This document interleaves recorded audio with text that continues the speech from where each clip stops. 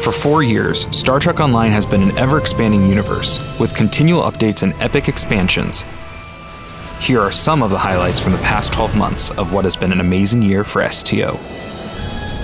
In April, STO celebrated First Contact Day for Federation captains and Day of Honor for Klingon warriors. April also featured the return of the fan favorite remastered event, The Crystalline Entity.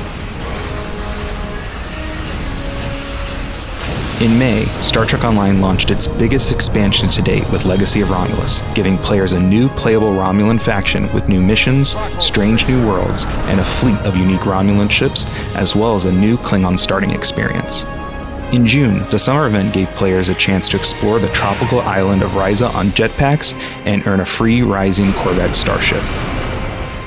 June also saw the release of the dilithium mine outpost in our latest fleet system expansion.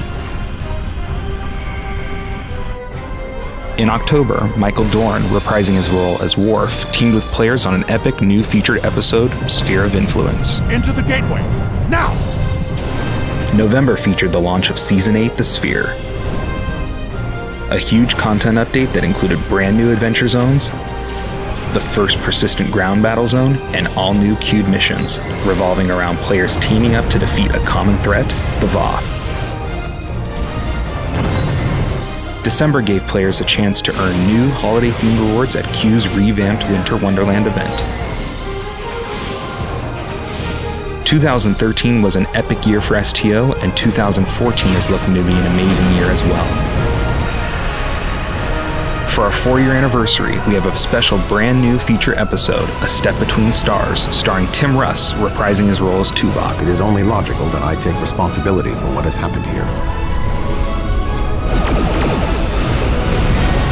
On top of that, we're also releasing our first mid season update, Season 8.5, and this is just the start of the huge year ahead of us.